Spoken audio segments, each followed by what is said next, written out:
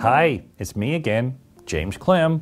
We're talking about the JK03 CAD-CAM Lab Kit from Meisinger, the Klim Institute Lab Kit. This section we're going to talk about the shaping diamonds. One of my favorite is the 882L. It's a cylinder rounded tip diamond. This is my favorite shaper. It's a little larger and allows me to use the tip and the side of the tip of this diamond to do some really neat contouring. I like to scribe. I used to do what I call wood burning shaping back in the old days when I used to go to camp in the summertime. We'd get those tips on those wood burning shaping devices and draw and create great design. So I like to use a pencil grip and I actually scribe in the various type of shapings that I want. Usually I'm going to map them out with a pencil first and the technique with this is that you scribe and scrub around what you scribed. So I'll say that one more time. You're going to scribe and scrub around what you scribed. And that way you keep a nice flow of your surface texturing so it doesn't look too planned.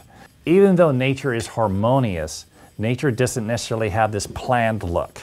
It has a flow of being natural, and that's the secret to surface texturing. So this burr really comes in handy on refining your primary and secondary labial anatomies on your anterior teeth, and also some of your microtexturing with the tip using the scribe and scrub technique.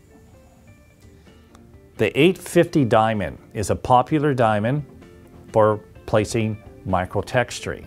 It's my intermediate sized diamond. I use it for more refined texturing and refined line angle shaping and also taking away some of that over contoured areas at a margin when desired.